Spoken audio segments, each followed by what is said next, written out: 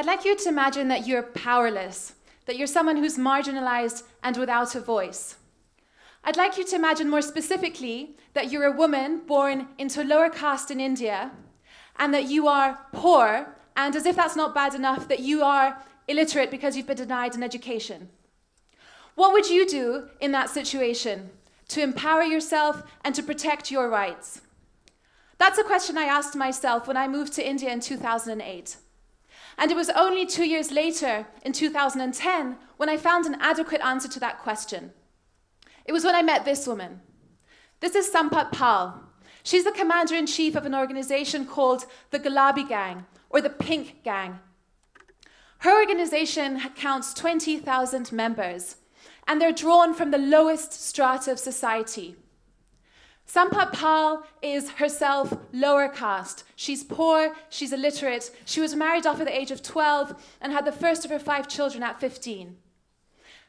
Like her, her members also come from a very poor and, and disadvantaged background. But yet, despite that, they've been able to achieve empowerment and they've been able to transition out of a state of victimhood into victory and triumph.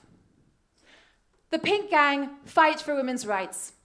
They do so through protests, through sit ins and marches, and also occasional use of their sticks. The Pink Gang is based in a state of, of India called Uttar Pradesh. And to understand why these women exist, you really need to understand where where they come from. Uttar Pradesh has a population of around 200 million people. That's the same population as Brazil. And yet, it's a state that exists in near lawlessness. In fact, the central government of India has described Uttar Pradesh as lawless, and a high court judge in India has described the Uttar Pradesh police force as the country's largest criminal organization. As you can imagine, living as a woman in, in Uttar Pradesh is challenging, it's dangerous, and it's very difficult. And despite that, these women who come from the lowest of backgrounds have been able to protect themselves and stand up for themselves by following a principle that is deceptively simple. And this principle is this that it doesn't matter who you are or how powerless you are, if you unite with other people, then you become strong.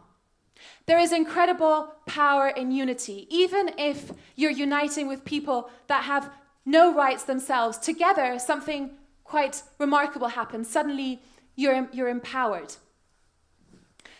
The Gulabi gang discovered the power of unity in their very early years. In fact, a few years before they even started their organization. Back in 2004, Sampat Pal was organizing what are known as self help groups. A self help group is a group of between 10 and 12 women, usually from very poor rural villages, who group together and pool money. They pool their savings together. And once they've pooled enough money, they become eligible for government loans. The Indian government just came up with this idea of self help groups in order to lift millions of women out of poverty. And Sampat Pal was, was forming these self help groups. And something rather special happened. Is that the women who were part of these self help groups became empowered through the fact that although on their own their savings were meager and they were insignificant, when they pooled their money together with other people, suddenly they, dis- they discovered that they had a lot of possibilities. And they, they applied this principle of, of unity, of pooling resources and strength to other areas of their life that went far beyond just finances. They started approaching Sampat Pal with other problems in their life. For example, I'm being beaten by my husband. What should I do? Or the local district official is not giving me my pension, or he's not giving me my food rations, which I am eligible for because I live under the poverty line. What should I do? And Sampat Pal gave them a very simple answer. She said, Do you see this hand? What do you think is going to hurt our opponent more? If we hit them like this, or if we unite and hit them like this. The, the message she was getting across was very simple. Together there is strength. And so at that day they decided, they took a vow that they were going to collectively stand up for each other's rights. If one woman was being abused by her husband, then all of the other women would respond as well. And so it was that they would together march to the local uh, officers, the police stations, and demand change. They would demand to be heard. But there was, there was a sm small problem. Things didn't quite turn out as they expected.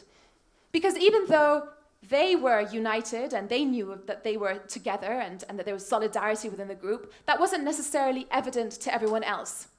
From the outside, they just looked like a group of ordinary women. And that's when they realized that they needed to be able to show, they needed to symbolize their unity in a really clear way. And that's when they chose the pink sari uniforms. Because they realized that there's, there's very few things that symbolize unity as much as a uniform. And the moment they put on that uniform, everything changed. They started to be listened to. The local officials started to, to pay attention. And slowly but surely, the Gulabi gang grew and grew, and they took on everyone from local bandits to corrupt politicians to, to local rapists, you name it. Now, this might seem to you like a very obvious message, one that there is power in unity. But I can assure you that in India, there are serious obstacles towards unity. And the most serious of them is caste which runs as a dividing line between communities. And there's very few, um, there's very few sort of symbols of this disunity as, as marriage, actually, because marriage is the institution through which the caste system is perpetuated. The majority of people marry within their caste in India, and if you choose to marry outside of your caste, you find that you are vilified, harassed, you might be rejected from your family, and in extreme cases, you might even face honor killings. And yet, the Gulabi gang has, in this area of caste, managed to overcome this significant barrier. And I want to show you um, this image here, which symbolizes just how powerful um, what they're doing is. There's very few um, there's very few things that are as controversial in India as an intercaste marriage. And yet, the Gulabi gang gives strength to, to couples like this to marry and to make vows in front of each other without shame and without hiding.